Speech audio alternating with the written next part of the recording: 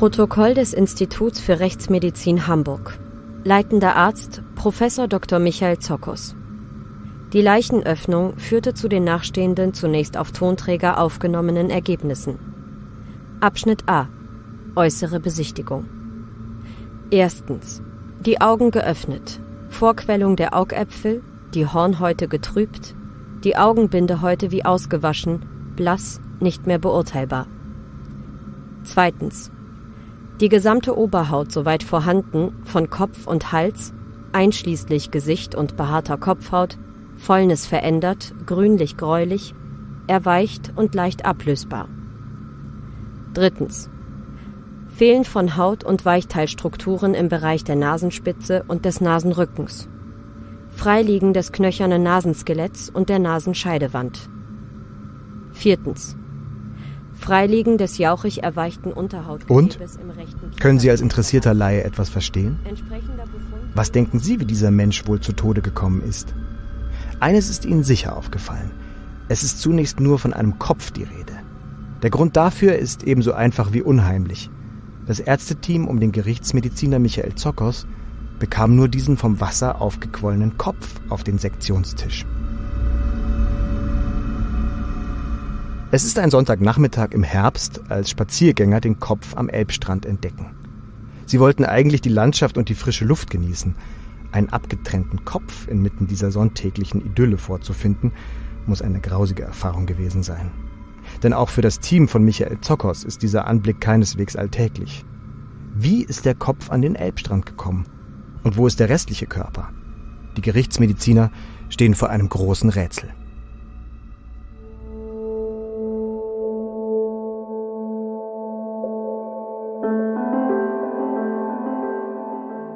Die Zeichen des Todes. Der einzig wahre True Crime Podcast mit Deutschlands bekanntestem Rechtsmediziner Michael Zokos. Und mit Philipp Eins. Schönen guten Tag.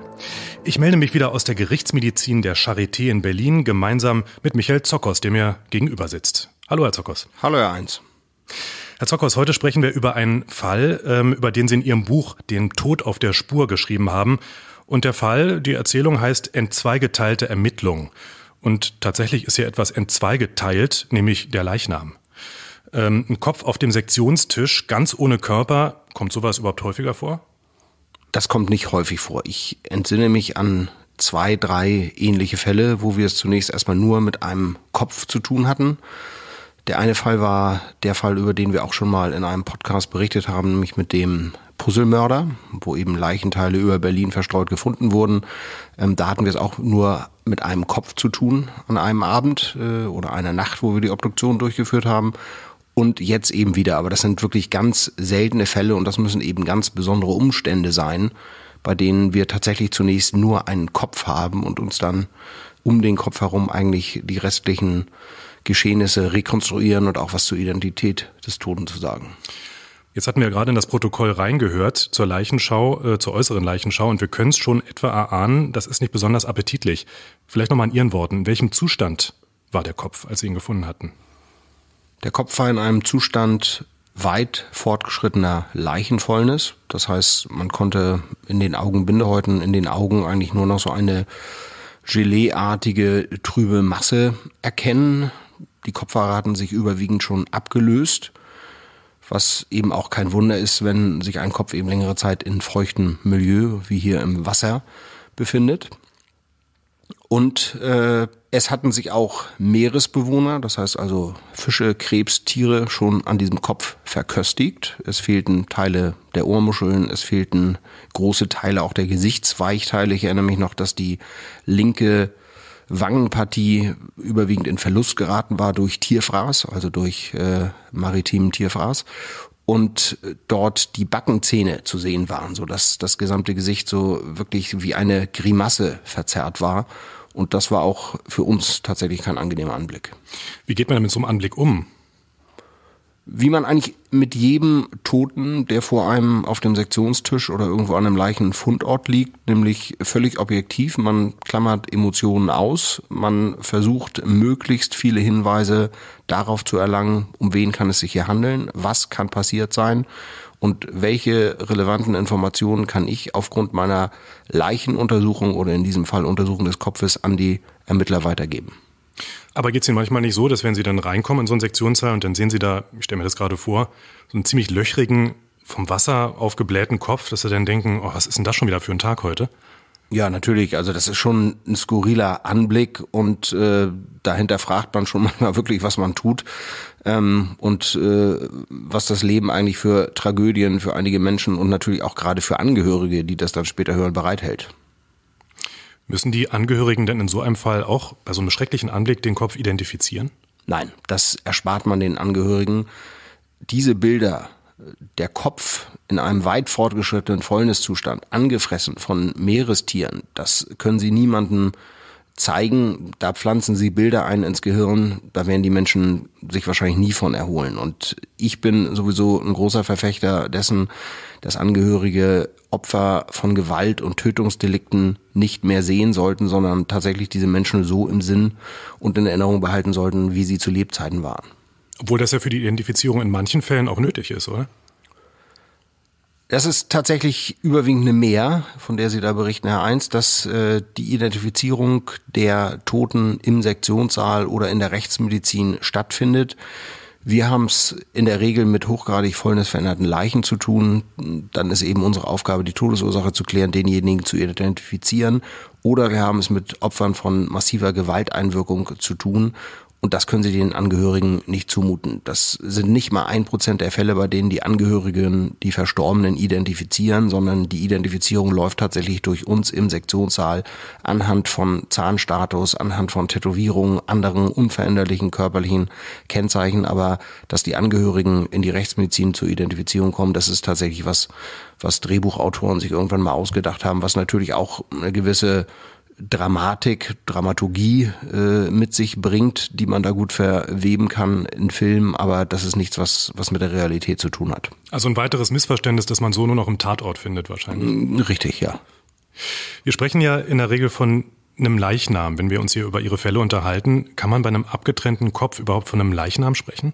Ja, kann man. Also es gibt eine Definition, eine juristische Definition, dass eben Leichenteile, dazu zählt zum Beispiel der Kopf oder auch der Rumpf, ohne die ein Mensch nicht leben könnte, als Leiche behandelt werden. Anders ist es zum Beispiel, wenn jetzt irgendwo ein abgetrennter Arm oder ein abgetrenntes Bein oder eine Hand gefunden wird. Ähm, das sind dann Amputate. Das sind Körperteile, ohne die man möglicherweise auch weiterleben kann, wenn dann eben die Verletzung entsprechend versorgt wurde. Aber ohne Kopf, ohne Rumpf kann kein Mensch leben und deshalb nehmen wir da auch die Definition Leiche für. Wir hatten ja gerade im Protokoll schon gehört, Sie haben begonnen mit der äußeren Leichenschau und nun ist es Ihr Job, äh, Hinweise zur Todesursache äh, zu finden, auch zur Identifizierung und zum Tathergang. Und äh, Sie müssen nun als nächstes klären, ob der Mann vor oder nach seinem Tod enthauptet wurde. Auch ein wichtiger Punkt. Und dazu haben Sie als nächstes eine innere Leichenschau vorgenommen. Abschnitt B. Innere Besichtigung. Kopfsektion. Erstens. Eröffnen der Kopfschwarte über einen im Hinterhauptsbereich von Ohr zu Ohr gesetzten Schnitt. Die Kopfschwarte ohne Unterblutungen. Zweitens. Kreisförmiges Eröffnen des knöchernen Schädeldaches mit der oszillierenden Knochensäge. Kein fremder Inhalt zwischen innerem Schädeldach und harter Hirnhaut. Kein fremder Inhalt zwischen harter Hirnhaut und der Oberfläche des durch Fäulnis in der Schädelhöhle zurückgesunkenen Gehirns. Drittens. Das Schädeldach wird abgehoben. Die harte Hirnhaut wird mit einem Spatel vom inneren Schädeldach gelöst. Sie ist unauffällig und weist grobsichtig keine Blutanlagerungen auf. Also dieses Protokoll, das klingt ja schon mal maximal unappetitlich. Was genau haben Sie nun eigentlich über den Kopf herausgefunden?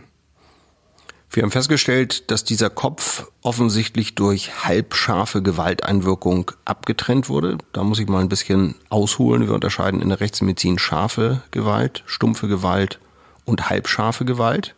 Das ist die Art der einwirkenden Waffe, zum Beispiel scharfe Gewalt ein Messer, halbscharfe Gewalt eine etwas stumpfere Klinge, wie zum Beispiel bei einer Axt.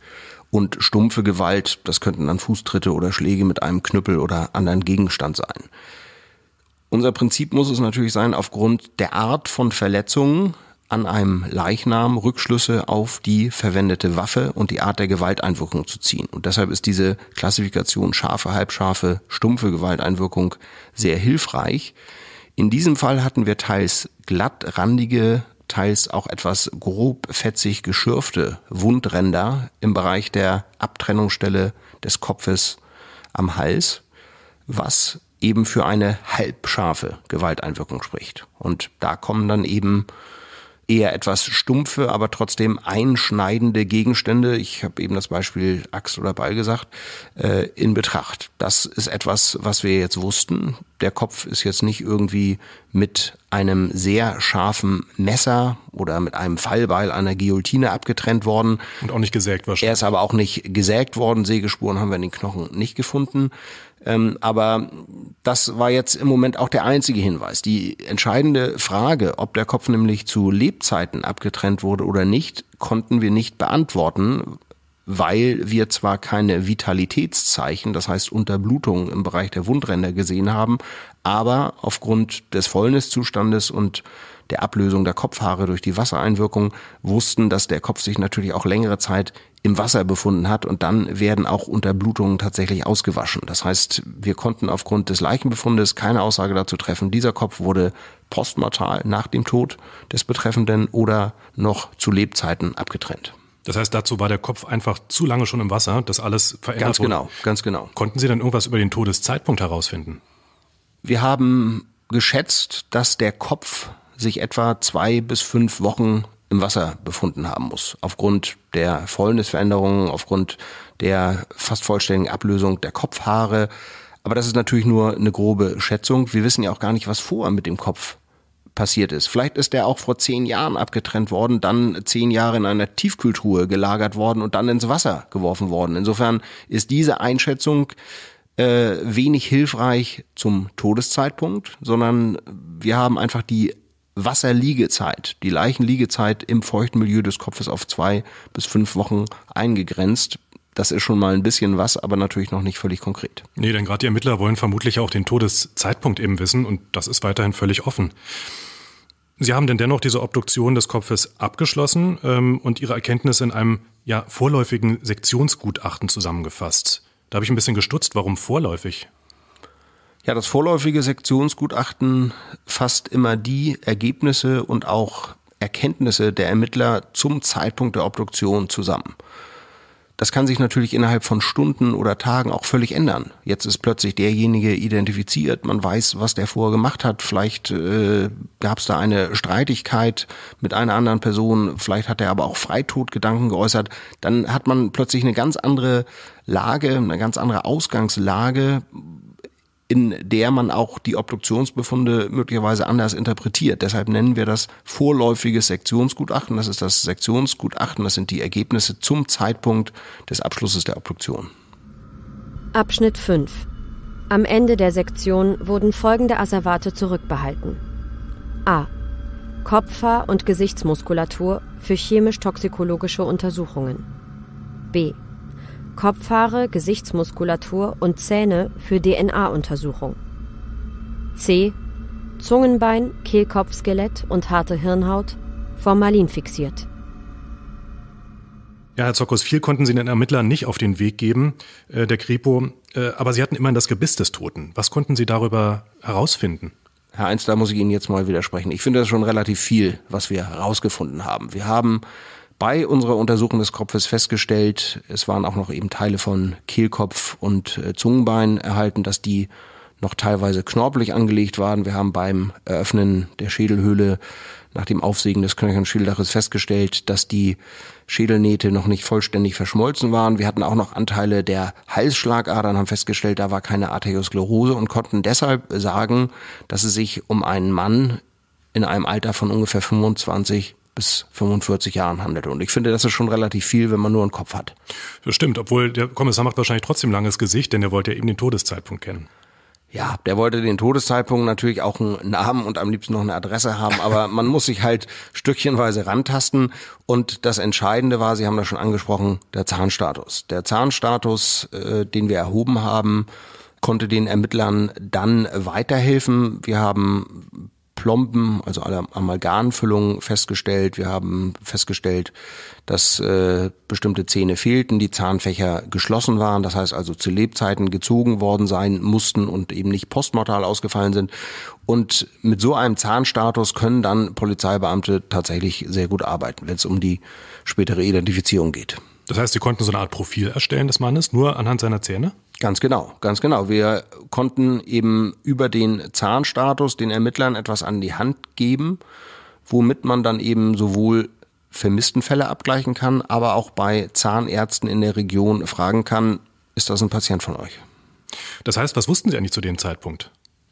Wir wussten, dass es sich um einen Mann zwischen 25 und 45 äh, Jahren zum Todeszeitpunkt gehandelt haben musste, dass er braune Kopfhaare gehabt hat. Das haben wir eben an Haarresten im Nackenbereich festgemacht. Und dass er offensichtlich regelmäßig in zahnärztlicher Behandlung gewesen ist. Und solche Erkenntnisse überreichen Sie dann auch den Ermittlern und wie gehen die damit um? Was machen die damit? Die Ermittler gleichen dann die vermissten Dateien ab. Das heißt, Sie wissen, Sie suchen jetzt hier nach einem Mann, 25 bis 45 Jahre. Jetzt geht man erstmal davon aus, wenn der Kopf zwei bis fünf Wochen im Wasser gelegen hat, jetzt geht man eben von den günstigsten Voraussetzungen aus, dass eben auch in diesem Zeitraum die Person verschwunden sein könnte. Das heißt, man kann hier schon mal Alter, Geschlecht und Zeitraum sehr gut eingrenzen. Und wenn Sie dann auch noch einen Zahnstatus haben, ähm, dann ist das nur eine Frage von wenigen Tagen, bis es da in der Regel einen Treffer gibt. Und die Kommissare waren dann auch erfolgreich, denn ihr grobes Raster hat tatsächlich zu einer Vermisstenanzeige geführt. Und rauskam, ist ein 42-jähriger Facharbeiter, Holger Evers, der verschollen war. Und ja, jetzt ging es wahrscheinlich darum, dass diese Identitäten abgeglichen werden, oder? Genau. Und der Rumpf, also der gesamte Körper von Holger Evers, war auch tatsächlich schon gefunden worden. Allerdings ohne Kopf und im Zuständigkeitsbereich einer ganz anderen Polizeidienststelle und auch eines anderen Instituts für Rechtsmedizin, was für diesen Bereich zuständig war. Das heißt, zwei Rechtsmediziner hatten unabhängig voneinander, also Sie und noch ein Kollege, der einen Kopf gefunden, der andere den Rumpf. Genau, nicht gefunden, sondern ähm, auf den Tisch bekommen. Auf den Tisch bekommen.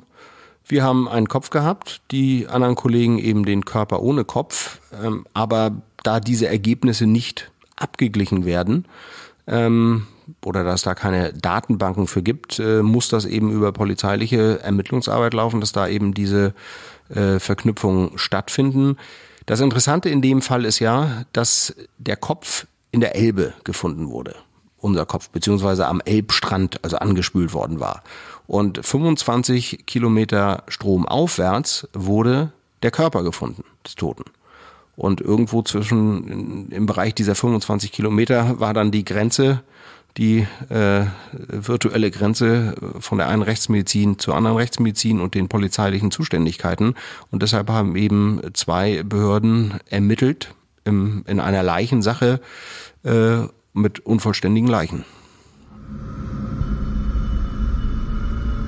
Rückblick. Fünf Wochen zuvor. Tatort eine Elbböschung am Fuß einer neun Meter hohen Elbbrücke. Als ein Elbdampfer sich der Brücke nähert, sehen Touristen schon von weitem einen kopflosen Körper auf der steinigen Böschung liegen. Es ist der 31. Oktober und sie halten die Szenerie zunächst für einen makabren Halloween-Scherz. Dem Kapitän des Elbdampfers ist jedoch relativ rasch klar, dass es sich hierbei nicht um eine Inszenierung handelt. Seinem geschulten Blick ist nämlich schon bei der Durchfahrt des Schiffes unter der Elbbrücke nicht entgangen, dass ein Stahlseil von der Brücke hängt, mit einer Schlinge am unteren Ende. Als die Polizei eintrifft, wird das Gelände weiträumig abgesperrt und der Leichenfundort untersucht. Der kopflose Körper liegt auf dem Geröll der Uferböschung und ist mit einer Windjacke, Jeans und Strümpfen bekleidet. Die Schuhe fehlen und vor allem fehlt jede Spur von dem Kopf des Mannes. Bei der Brücke handelt es sich um eine Autobrücke, die am Rand auch von Fußgängern genutzt wird.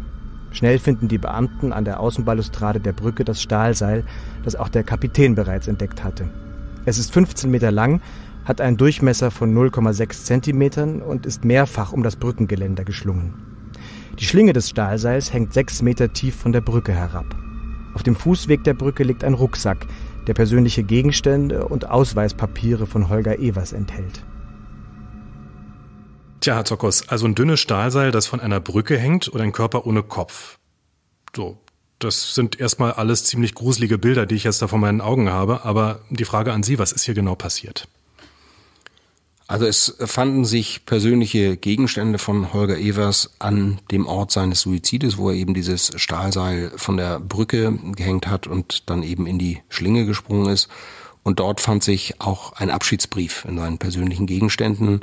Und aufgrund der Angaben von Angehörigen war klar, dass er auch an Depressionen litt zu Lebzeiten. Er hatte offensichtlich auch Probleme auf der Arbeit und hat dann eben Suizid begangen. Das war die Vorgeschichte. Das Interessante an diesem Suizid ist natürlich nicht, dass er sich erhängt, sondern die Gesamtumstände, dass eben dieses Erhängen zu einer Dekapitation, wie wir es nennen, zu einer Abtrennung des Kopfes geführt hat, was dann natürlich eben Ausschlag war auch für diese Suche, wo ist der Körper zum Kopf und dass dann eben erst diese Verknüpfung der einzelnen Institute und Zuständigkeiten ähm, viel später hergestellt werden konnte. Das heißt, es ist wirklich durch das Erhängen passiert, dass Kopf und Rumpf voneinander getrennt wurden. Ähm, ich meine, was muss da alles zusammenkommen, damit sowas Grauenvolles passiert?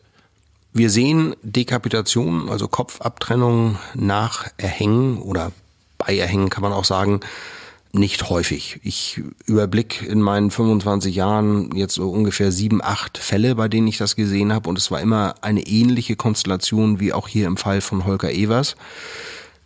Es gibt drei Faktoren, die ausschlaggebend sind. Einmal die Stabilität und die Art des Seiles. Das kann natürlich jetzt kein äh, Schiffstampen sein, der irgendwie vier Zentimeter Durchmesser hat, sondern es muss schon ein sehr dünnes, aber dabei auch sehr stabiles Seil sein, wie hier im Fall von Holger Evers, nämlich ein Stahlseil.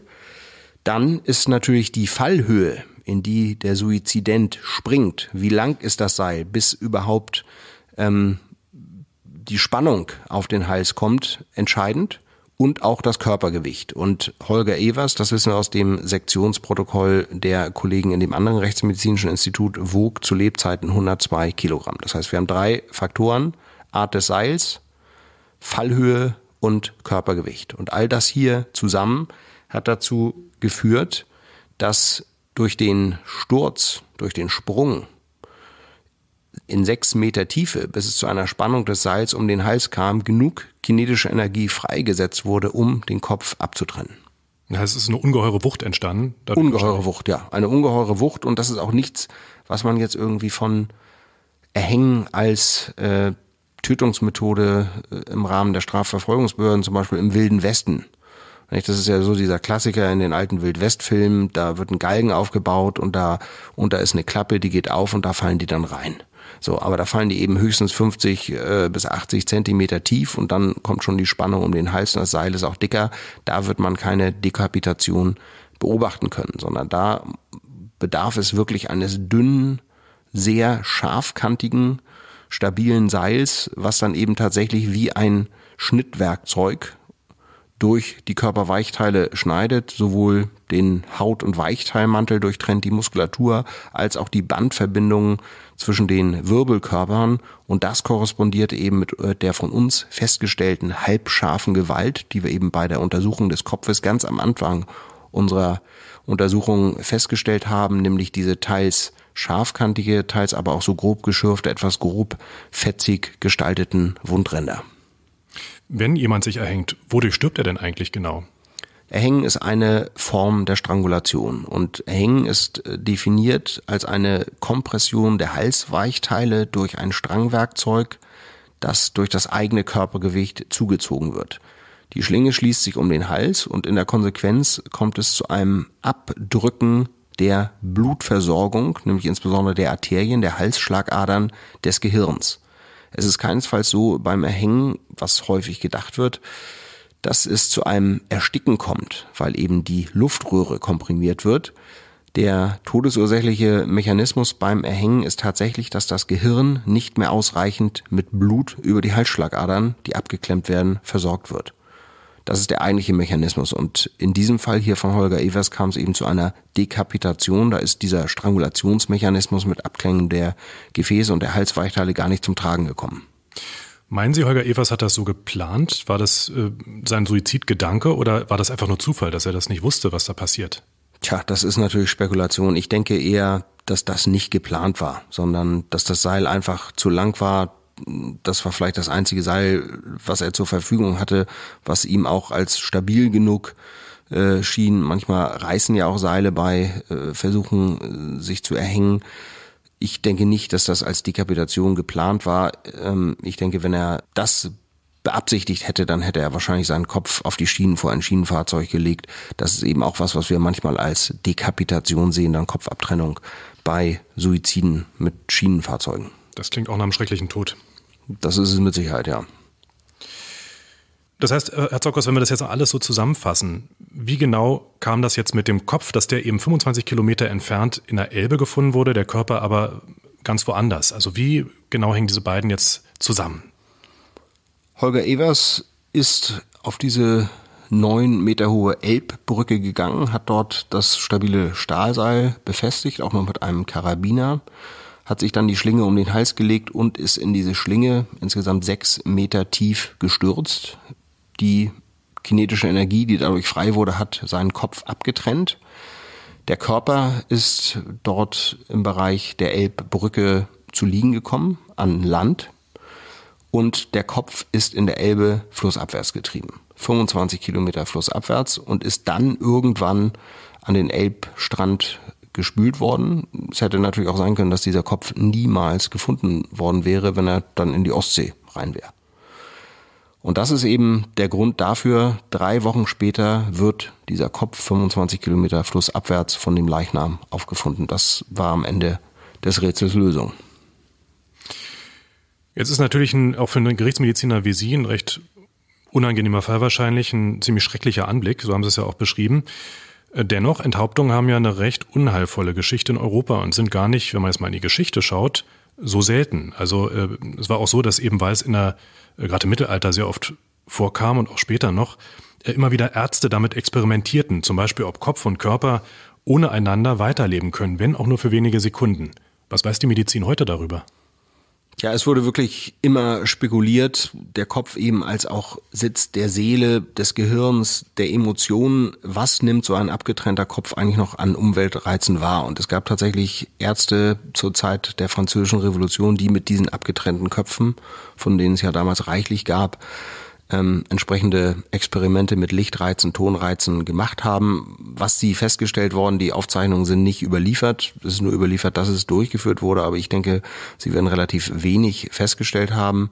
Die moderne Medizin weiß, dass mit dem Zeitpunkt der Abtrennung des Kopfes auch das Leben endet da gehen keine Gedanken mehr durch den Kopf. Es wird eben nicht mehr irgendwie bewusst was gesehen oder verarbeitet oder empfunden. Es finden auch keine Schmerzreize mehr statt.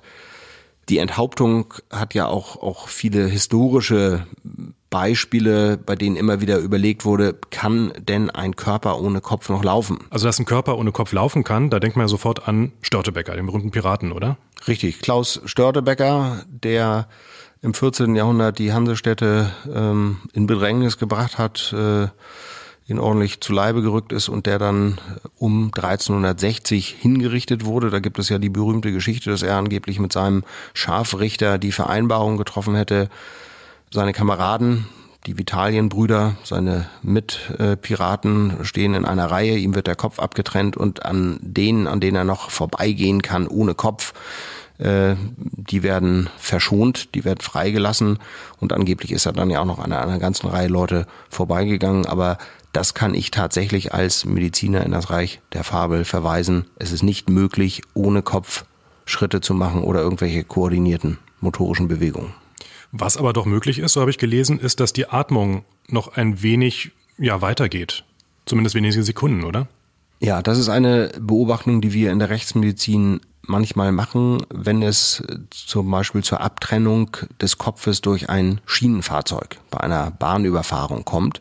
Dann sehen wir tatsächlich in den Lungen bis in die Lungenbläschen hinein noch Blut eine Bluteinatmung. Und eine Bluteinatmung, eine Blutaspiration ist für uns in der Rechtsmedizin immer ein ganz wichtiges Vitalzeichen. Das belegt einerseits in diesem Fall, dass die Überfahrung äh, durch das Schienenfahrzeug zu Lebzeiten stattfand. Das heißt, da ist keiner umgebracht worden und der wird jetzt auf die Schiene gelegt, um einen Suizid vorzutäuschen oder vielleicht irgendwelche Würgemale am Hals verschwinden zu lassen, sondern der muss tatsächlich noch gelebt haben, als er auf der Schiene lag und dann der Kopf abgetrennt wurde. Aber das ist natürlich erstaunlich, ähm, denn ich habe ja eben gesagt, ohne Kopf gibt es keinerlei äh, Körperfunktionen mehr, motorische Funktionen, aber offensichtlich läuft das auf Ebene des Rückenmarks über Rückenmarksreflexe, dass dann noch wenige Atemzüge reflektorisch gemacht werden und im Prinzip reichen ein oder zwei tiefe Atemzüge, um eben die Lungenbläschen mit Blut zu füllen. Wo kommt das Blut her bei der Blutaspiration? Aus den durchtrennten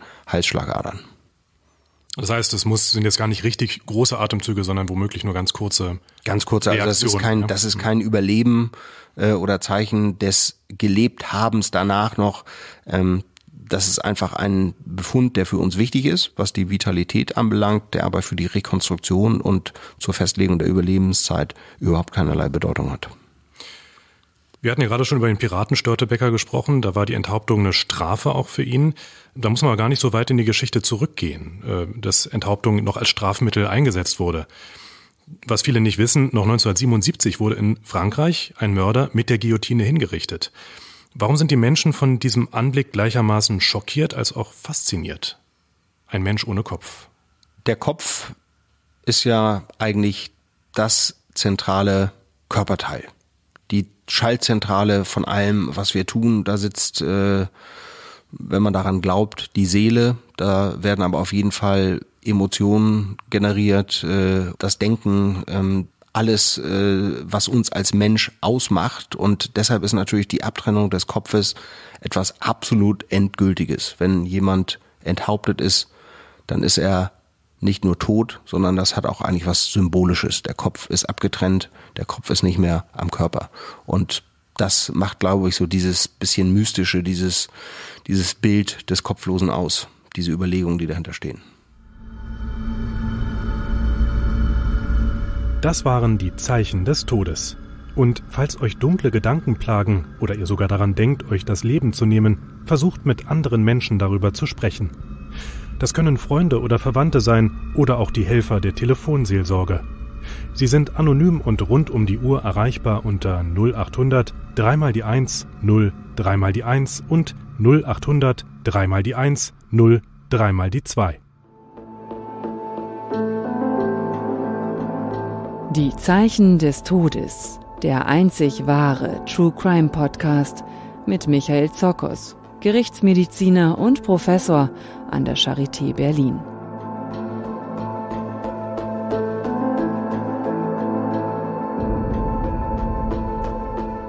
Weitere Infos zum Podcast gibt es unter www.zockers.de. Moderation, Skript und Produktion Philipp 1. Sprecher Monika Oschek, Andreas Tobias. Redaktion Bettina Hallstrick im Auftrag von Drömer Knauer.